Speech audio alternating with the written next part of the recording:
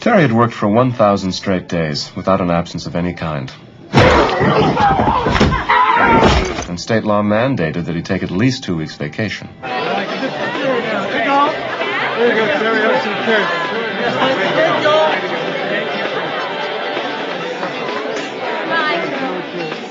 Now, I know he didn't want to go, but I'm sure he's having a great time down there.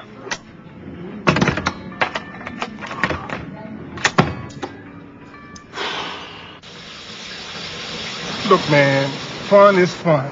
Ain't no problem with chilling when the chilling's right. But when things ain't happening the way they're supposed to happen, you know Triple T gonna condense the nonsense.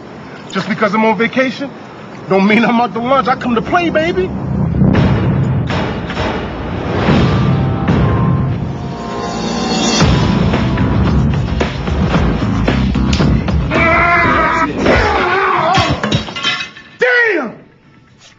Justin, I ordered those eggs 40 minutes ago. Don't make me scramble you again, son. Uh, We were aware that Mr. Tate was a discerning guest, but it seems that we weren't fully prepared for exactly how discerning he was.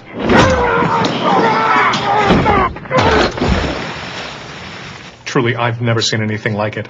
During his stay here, our hotel was never more efficient. Hey! Hey, hey! That crop ain't punched, baby! That crop ain't punched! Quite simply, Mr. Tate was the best guest we have ever had here. And I think we actually got him to loosen up a bit and enjoy his vacation.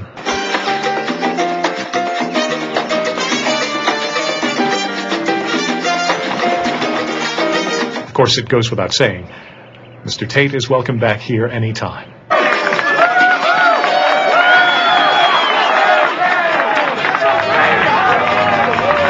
Here, the office environment deteriorated rapidly. Things went from bad to worse to downright strange. With Terry back, everything quickly returned to business as usual.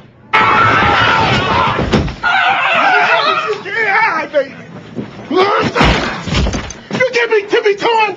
I'll be here! Whoa! I just pray it's another thousand days before we have to do without him again.